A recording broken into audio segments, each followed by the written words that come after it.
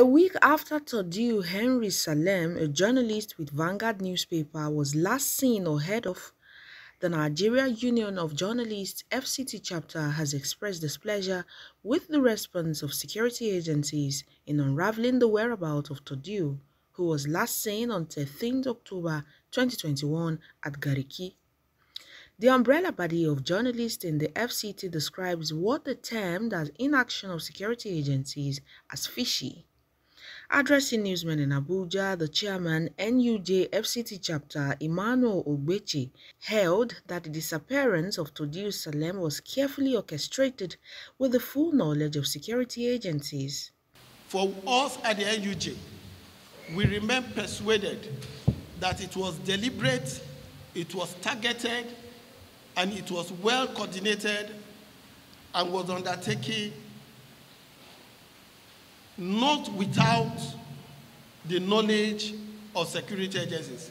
We challenge them to prove otherwise. If it were not so, as at this, as at this moment, they would have been able to tell us what efforts they have undertaken in locating the whereabouts of Mr. Salem. We want to say that there will be consequences for Mr. Salem's disappearance. NUJ also called on the international community to intervene in the matter.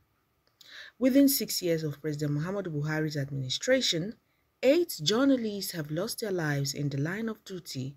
300 others have suffered one form of brutality or the other, and Tordue Salem's disappearance adds to unresolved murders and issues this is not a kidnapping matter. We remain convinced. If it were, the kidnappers would have made contact with his family, with his employers, and with organizations such as the NUJ. But that has not been the case. When Mr. Salem was declared missing by our colleagues, we quickly informed the police as well as the Department of State Security.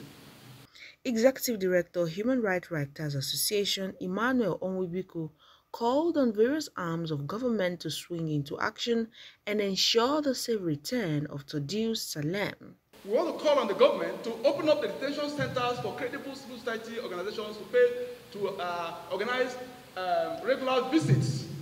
This is the, the, the, the kind of thing that uh, chief judges are doing, but I think it is not just enough for the chief judges to just visit um, uh, prison facilities. They should also visit detention facilities that also look like EFCC, like DSS, like police, and the rest of them.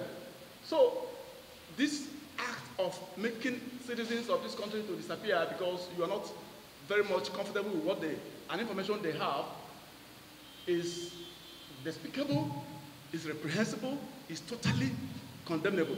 Tordue Salem's last Facebook post reads, in quote, Anambra State Deputy Governor Nkem Okeke defects to APC, and you say it doesn't matter? End of quote.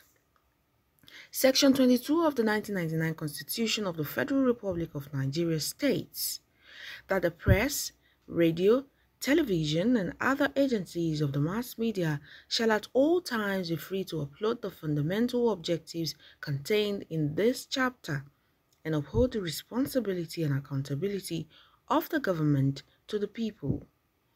While the FCT Commissioner of Police, Babaji Sunday, says police operatives are working round the clock to unravel the whereabouts of Tordue Salem, the questions begging for answers are is there more to this than meets the eyes?